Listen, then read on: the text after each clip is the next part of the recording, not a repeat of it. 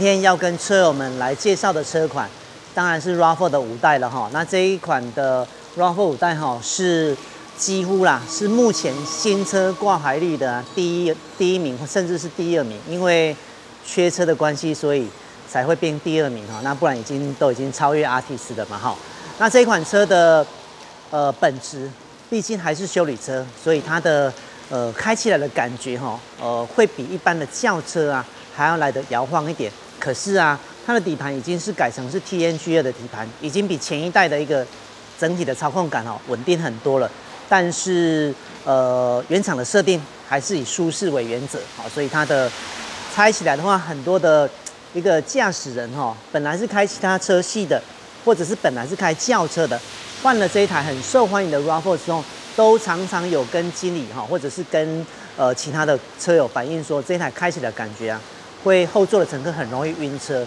那今天的工作最主要就是我们来改善原厂悬吊系统太过于摇晃、太过于舒适的一个感觉哈。所以改了 KT 避震器之后，这样的感觉啊会改善的非常非常多。那这款车我们最近的呃 KT 的销售状况非常好，最主要是车友们有帮我们分享嘛哈。那也加上呃北区、中区都有很多的车友。热心的很，愿意给车友们来试乘哈。那试乘之后都觉得 KT 三台不错，所以才多多帮我们有再帮我们推荐嘛哈。好，那我们废话不多说，我们来介绍一下 KT 今天的一个改装的一个细节。我们先来介绍呃原厂避震器的部分。好，原厂的话它跟四代的话已经不一样了哈。前面的话其实差不多，前面一样是麦花臣的悬吊系统。那麦花臣的主架构就是它是弹簧。跟避震器是一起的。那在转方向盘的时候，它上座的下方啊有一个轴承，它方它的避震器还会负责转向，所以它前面避震器的作动会比后方的避震器还要来的辛苦一点点。后方的避震器弹簧跟筒身是分开的，它的筒身就傻傻的做往复式的活塞运动而已，但前面不一样哈，前面还要负责转向。那它前面的上座很特别，呃，这个世代的。八代也是进口的 Camry，哦，它的前面悬吊系统跟这个很接近，它的上座啊有一个特殊的斜度。镜头从这边拍过来的话，这边是比较高，这边比较低哈，所以它的避震器啊是有一个特殊的斜度了。这个斜度的话，KT 还为了这款车专门做这个专用的斜度来给这一台车来使用。有的厂其他厂牌的设计，它是要沿用原厂上座。那这一台车还那么新，这个上座吼一定还不会坏掉。但是如果车龄久了一点之后，也许有可能车友们看到这一支影片，呃，可能是三年五年之后，那到时候这个上座啊，也许已经快挂掉了哈。那如果再拆来 KT 的避震器来使用的话，恐怕呃衍生出来的异音就很难厘清是 KT 避震器的问题，或者是原厂上座的问题哈。所以改 KT 的话，不用烦恼这样的问题。有问题就是 KT 的问题，因为全部的东西都是 KT 的哈，所以这个在技师的操作上来说的话，也会比较方便一点点。因为这一台车像是它前面的上座，它的轴心有一个缺口，那这个缺口的话，在安装的时候，如果要沿用原厂上座，它就有一个特殊的方向性，如果方向不对的话，就容易会造成呃异音的状况，甚至是其他周边的零件呢。寿命会缩短，所以沿用原厂上座，在这个地方来说的话，是会造成技师比较大的一个困扰哈。所以 KT 的话，就直接有附一个上座，会比较单纯一点点。那它的原厂的避震器哈，也是日本大厂制造的哈，是日本的 Takiko 制造的。我们来看一下，这里刚好有一个 logo。好，这个是。也是日制的避震器哈，并不是授权台湾的永华或者是其他开发制作的哈。这个是哦，开发不是不是呃开发新车种的开发，开发工业是一个台南也算是台湾上市公司，很大型的制造避震器的公司哈。那这个 Takiko 就是日日制的纯日制的哈。那它的避震器的形成其实会比一般的哦，我们来举一个同。同级车常会比较的，好了，嗯，Honda 的呃 CRV 五代，CRV 五代它的避震器的摆臂位置啊，就是比较偏向外侧，所以它的行程会比这个长很多。那这个 TNGA 的底盘它的摆臂比较偏向支点，所以它的行程是比较短的。那比较偏向支点，就像是四代的 RAV4 一样，它的筒身哈是斜的，所以它的阻尼尺啊很硬。但是这一套的阻尼尺，它其实应该要做的更硬一点点，可是它的阻尼还是比较偏向舒适的哈。好，所以这个阻尼的话，哦，算是比较呃比较舒适一点点。那这个馒头啊，它这个是防尘套加馒头，其实它的馒头很长，在这个地里面哈，如果我把这个往内折的话，它的馒头长度大概这么大一大截。好，这个馒头这么大一大截，再扣掉它原来的行程做动哈，所以它在日常行驶做动的行程其实所剩不多。那像这样的悬吊系统，经理。就比较不建议改装短弹簧，因为短弹簧它会再吃掉一点行程啊，剩余的行程其实不多。有的车款的话，哈像是 Camry 的话，呃，五代、六代、七代，它的行程前后都是麦花臣那种的避震器的形式啊，哈，改装短弹簧就没有关系。但这一套的话，我个人呢，哈，是比较不建议改短弹簧的形式。好，这个是后方的筒身，啊，这个是它后方的弹簧很长。好，它呢是用一个低公斤数，但是靠预载的方式，呃，去做一个设定哈。那 KT 的话，后方的弹簧是配置两百三十 mm，二十三公分，六公斤的规格。前方的弹簧更特别了哈，因为这一台经理一开始有讲过，这款车毕竟它是修理车，所以我们不会把它设定的太过于竞技化。前方的弹簧的话，我们才配七公斤，而且并不是做一个直卷式的弹簧。有很多像前几天经理有在板上看到有其他的车友啊分享是日本 RSR 的避震器哦，这个一套避震器也大概五六万块，也不便宜哈。但是 RSR 它也没有针对这一台车的前面再做一个专用的规格。那 KT 的话是为了这台车，我们前方打了一个呃灯笼状的弹簧，就是类似像这样子，但是它的这里这里的宽度哈会更宽。那宽度更宽有什么好处？就是它是修理车，我们如果把它做直选式的弹簧的话，它的操控一定会好很多。可是它的舒适度的话，恐怕就会牺牲掉一点点。但是我们打一个灯笼状弹簧的话，它在压缩回馈的同时，它的力道不是直上直下，它会有一部分往两侧来释放，所以它的前弹簧用这个形式的话，它的回馈力道就会变得比较舒适哈。那待会我们再来看食品。我们先来看一下后方安装好的部分。好了，这边，这边好了。好，那这边有电灯吗？好，这里有电灯。那改了 KT 之后，除了车高的设定可以依照车友的需求来改变之外，阻尼的软硬度也能做改变了哈。像是如果要调硬、要调软的话，我们可以靠这个上座的下方，这里有一个旋钮，从这个地方。往顺时针它就变硬，往逆时针就变软哈，可以从这个地方来调整后面避震器的软硬值。从这个地方，那它的弹簧在这里，两百三十长六公斤。弹簧下方的话有一个调整基座，哦，这里有一个基座，这个基座的话就是在调整后方的车高，哦，是靠这个基座来调整的。那这一款车哈，如果啊。呃，车高有要降低幅度比较大的话，就建议车我们要改这一支后方的仰角调整器。这台车后方是多连杆的悬吊系统，它有一颗偏心螺丝在下支臂的内侧，它可以做束角微幅的改变跟调整。那如果车高降下来之后，它的轮胎会变成这样子。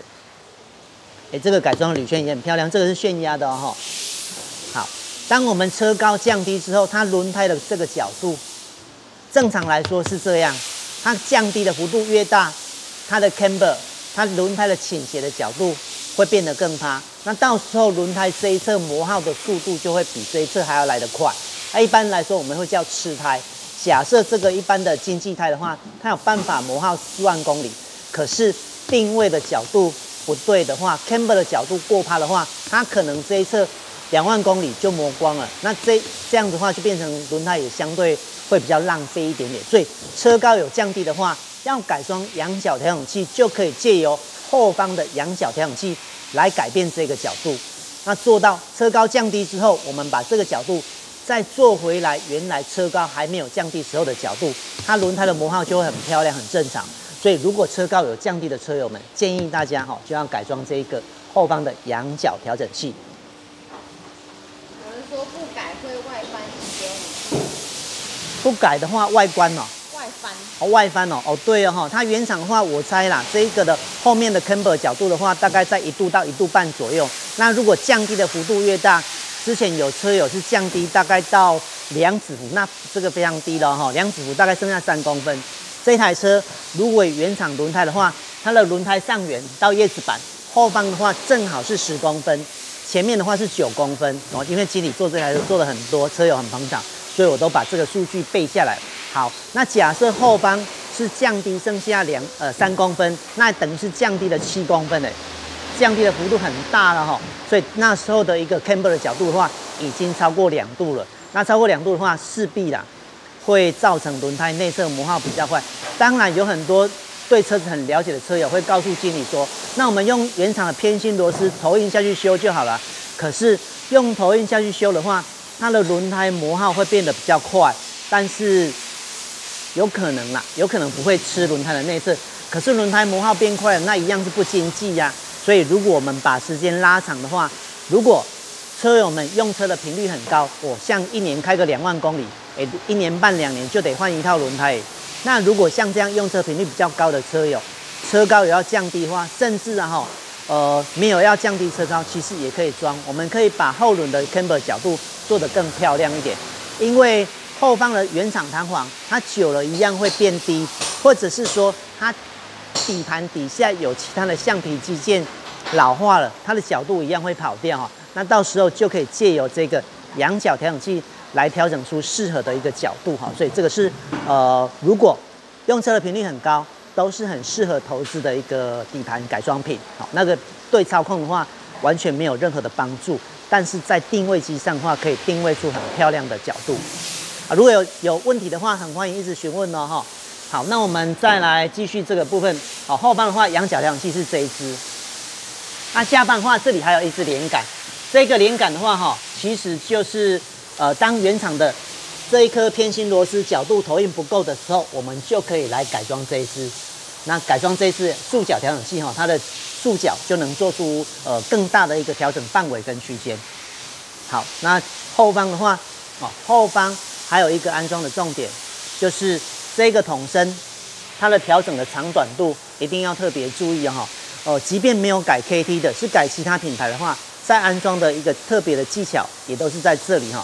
它的后方的弹簧是两百三十长，那这个筒身我们呐，如果把它缩的特别特别短的话，它的弹簧二十三公分就有可能会会整个都逼住了，那势必怎么调阻尼也好，呃，或者是说也有可能会造成异音，那筒身的寿命也有可能缩短，所以这个后方的弹簧哈，千万不能把它预载过多哈，一定要特别注意。好，这个是后面 RAV4 五代的一个介绍，那我们换来介绍前面的哈。今天车友还有加装，哎，这一次的引擎式的拉杆啊，这个是 Summit 的龙影的产品，哦，这个拉杆还有加装这个拉杆。那它的上座的话，有斜度的话，如果镜头从这里的话，大概可以看得出来，因为有装这个看不太出来哈。它这边比较高，这边比较低，所以它是有一个斜度的，所以它上座需要做出这个专用的斜度。KT 的话就有附这个上座，也有做出这个应该要有的斜度。那在这个上座的中心点，它有一颗旋钮，这颗旋钮就是在调整前面的软硬度，哦，从这个地方调整，一样是顺时针变硬，逆时针的话就变软哈，所以从可以从这个地方来调整前方的阻尼值。那调整的秘诀有两个步骤，第一个，我们需要把前面的一个呃整整台车的一个胎压哈打到原厂的建议值，原厂的话我们在驾驶座。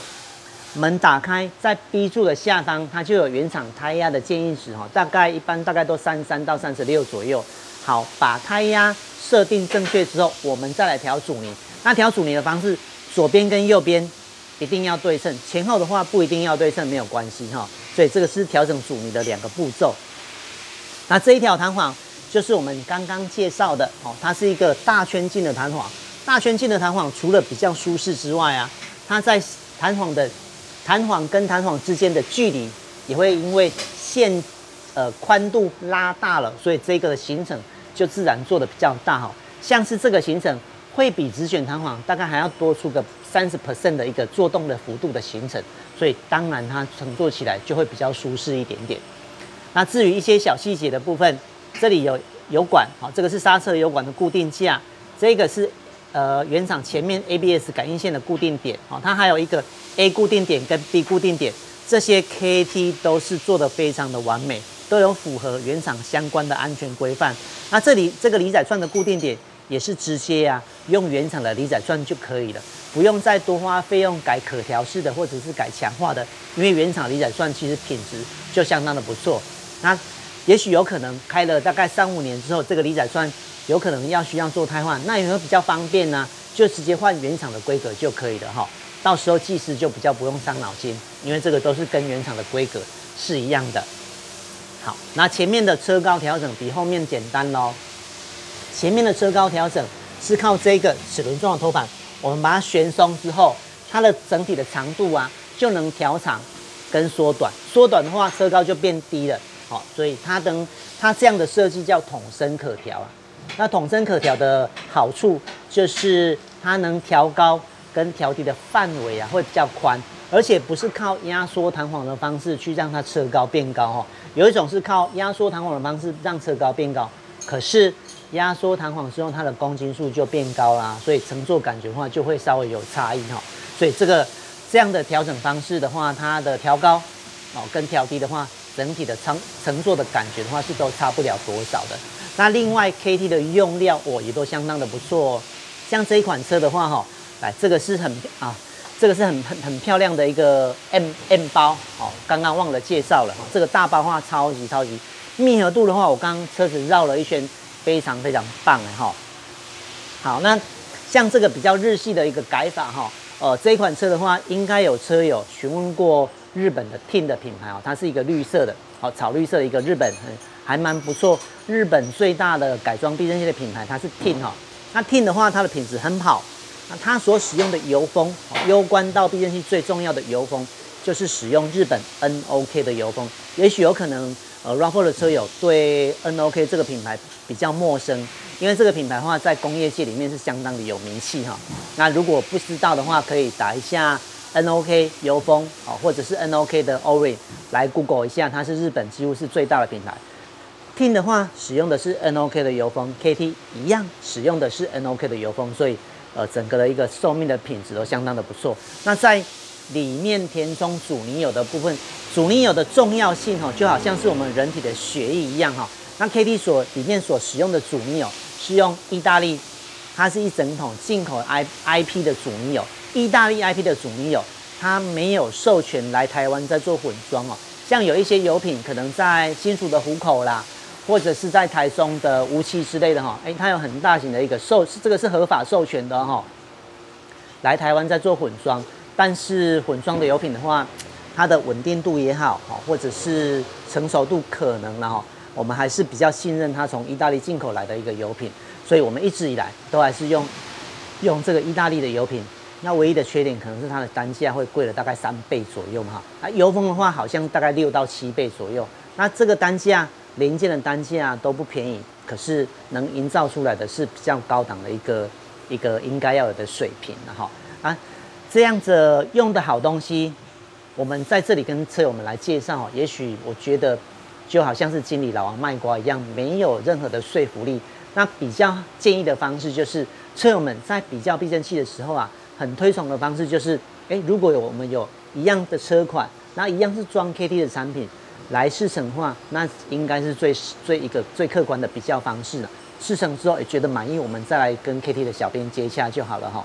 那我们在 KT 的北区经销商，还有 KT 的中区经销商，还有南区的 KT 的店家，都有分别提供试乘车，可以给车友们来试乘。试乘满意后。再来考虑就好，因为现在做变器真的太多了哈，所以很很希望大家有机会的话来 KT 来试乘看看。那如果针对刚刚介绍的影片还有任何问题的话，再请车友们不用客气，再请私讯我们跟我们联络。有问题啊？有人说 T 牌的避震器几乎都是低筒声。